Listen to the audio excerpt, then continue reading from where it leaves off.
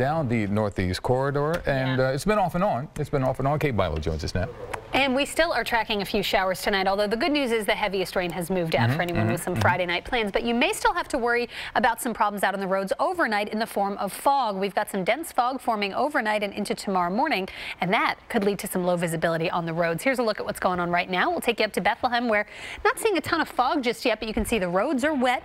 Had a good soaking move through the area, the entire northeast, really all day today. Here's what it looks like on Storm Scan 3 as that band of rain, we've been tracking this all week on future weather, behaved pretty much exactly as anticipated and now moving through New York City and we are starting to dry out. There are still a few scattered showers to the west of this moving through portions of Lancaster and Chester counties, but for the most part the steady rain is over and now we're going to see temperatures rise but also see that fog form through the overnight hours. Take a look at some of our future visibilities as we head toward midnight, 1 a.m., 2 a.m. Visibilities near zero in parts of the area as dense fog develops.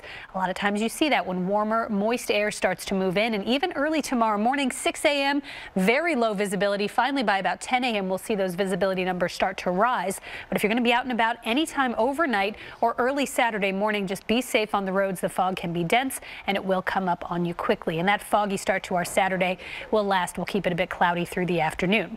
Then we've got this system approaching late Sunday into Monday. Showers could begin anytime Sunday, but especially Sunday night. And then Monday, this storm works its way up the eastern seaboard. Looks very typical to a snowstorm setup. It's just not cold enough. Look how much rain we'll see through the day Monday and into Monday night. Some spots seeing one to two inches of rain and gusty winds, especially at the coast, up to 45 or 50 miles an hour. So overnight, watch for that fog to develop. 41 degrees, mostly cloudy. Morning fog for your Saturday, then staying cloudy, but it's warm at 55 for the high. And your Eyewitness Weather seven-day forecast keeps us mild through the weekend. Then Monday, rain and wind will hold temps in the 40s. Morning rain Tuesday, finally some sun returning by Wednesday. Up next, Don Bell with sports and what the Sixers stud rookie is saying about his all-star game rejection.